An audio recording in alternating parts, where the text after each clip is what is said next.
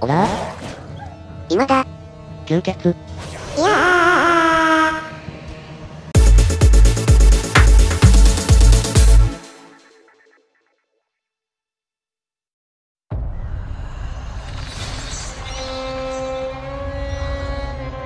This was ours.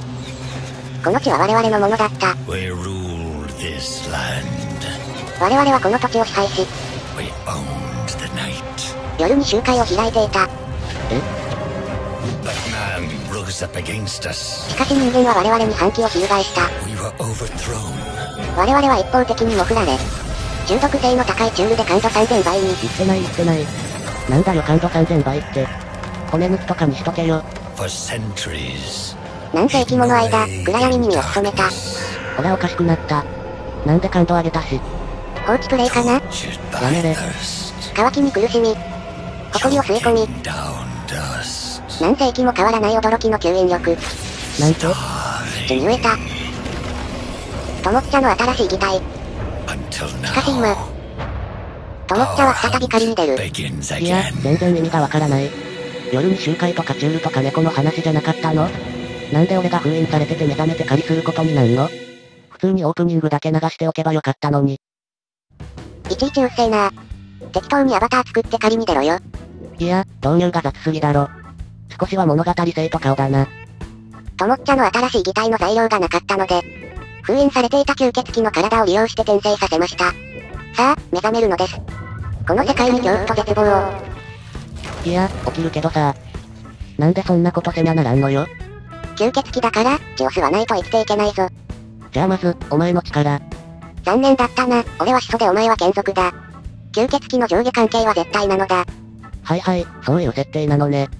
とりあえず、骨を探せ。お墓っぽいから、そこら辺に落ちてるかな？ゲット。まだ足りない。もっと集めろ。へいへいっと。集めたぞ。よろしい、始祖様が力を分けてやる。レシピをアンロック。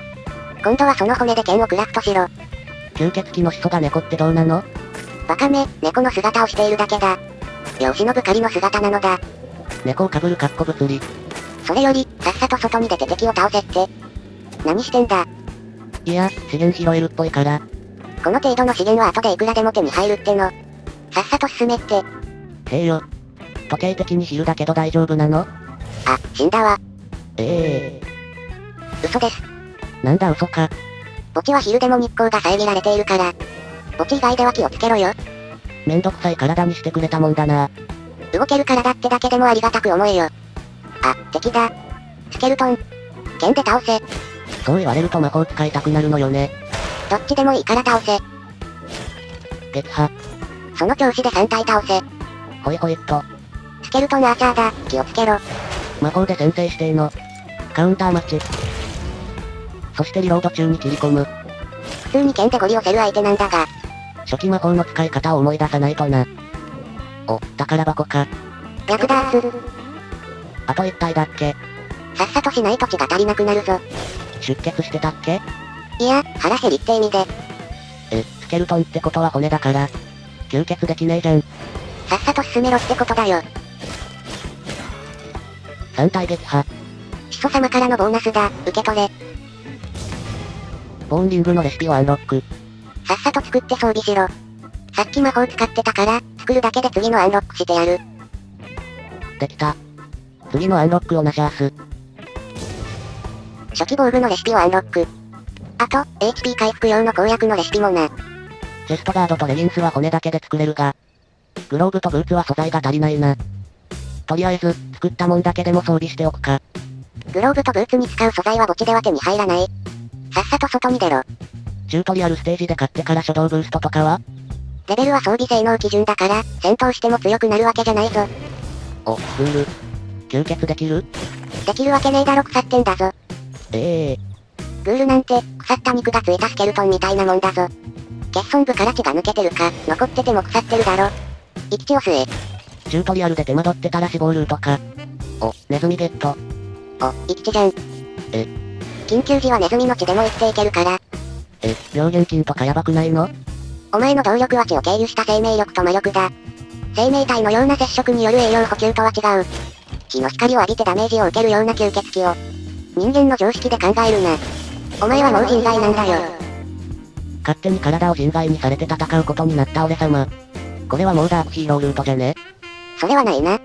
始祖様ミッション的に、これから人を襲ってもらうことになるから。強制悪人ルートかよ。ほら、資源集めはいいから、さっさと墓地を出ろって。資源を集めて数分。えっと、ここさっきも通ったぞ。お、出口かな。迷ってんじゃねえよ。だってここミニマップないんだもん。ともあれ、墓地を脱出。墓地を出るガチぼっちってか？はん。鼻で笑うな。えー、っと、これはスタート地点を選択できるみたいだな。西か東か。じゃあ東からだな。なんで？東から日が昇るから、東は始まりを意味する。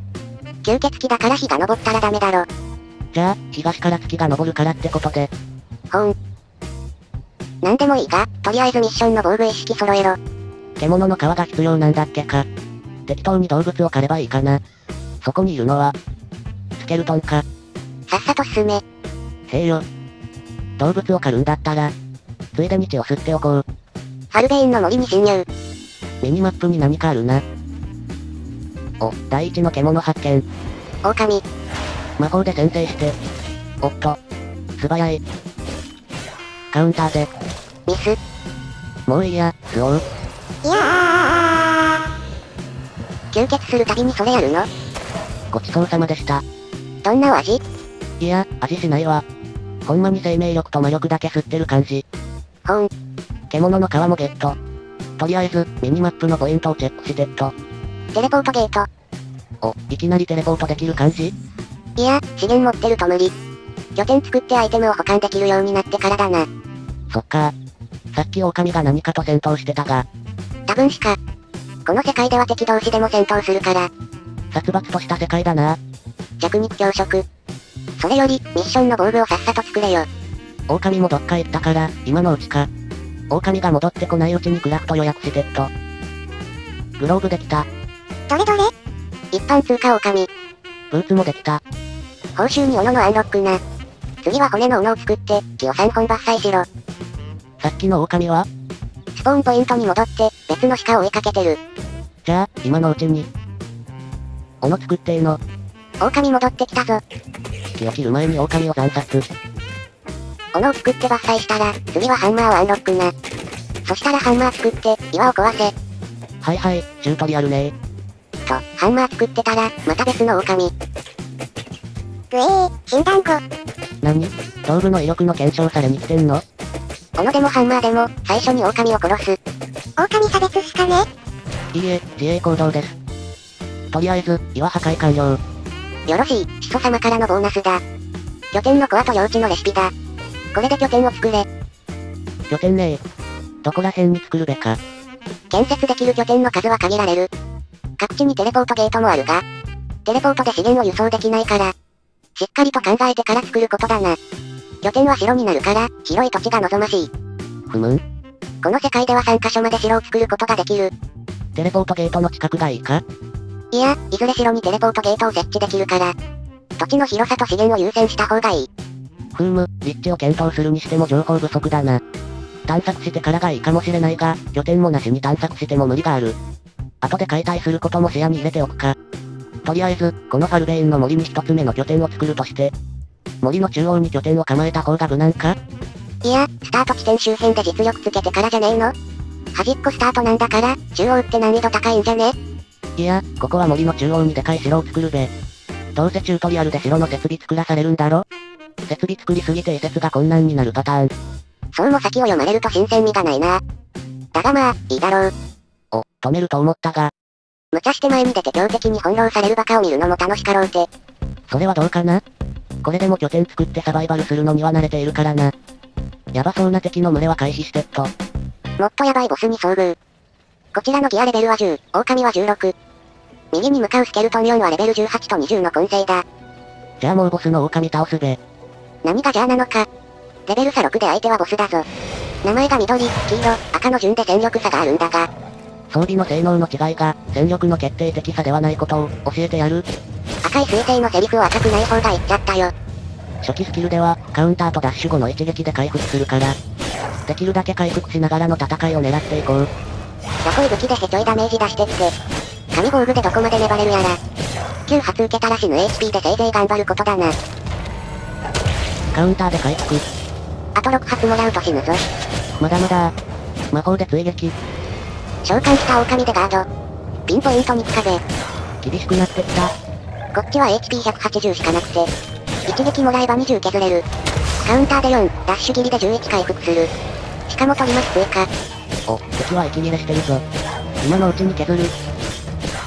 開いた調子に乗って攻撃食らうバカ。クールタイムのタイミングが合わない。下手くそめ。うっせ。さあ、余裕がなくなってまいりました。あと4発もらうと死にます。相手だって消耗してるし、息切れもしている。ちゃんと回避できれば。ギリギリ。逃げ切れない時はカウンターで。回避優先しすぎて攻撃チャンスに逃げる無能。魔法がリチャージ中だった。ダッシュ切りしたらよかったのに。後出しで指摘すんのくっそムカつく。ダッシュで逃げると回復チャンス逃すぞ。黙れ魔法も外してやんの。ムキー。よっしゃ今だ。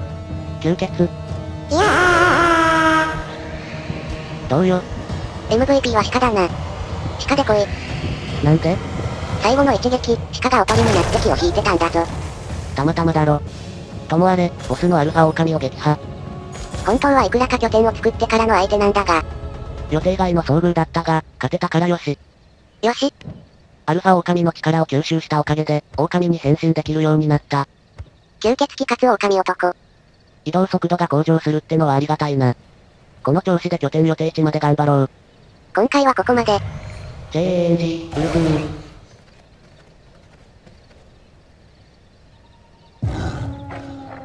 ワオーン。これで出番確保できるっすよ。ワオーン。お前少しは自重しろよ。お前もな。